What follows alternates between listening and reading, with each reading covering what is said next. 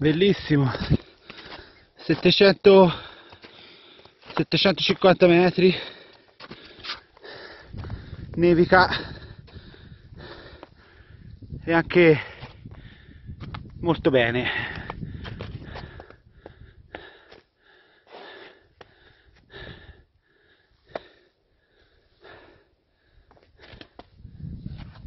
Ah.